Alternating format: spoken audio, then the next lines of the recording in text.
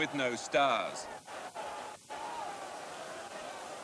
Mark Falco's header somehow kept out by Neville Southall. A save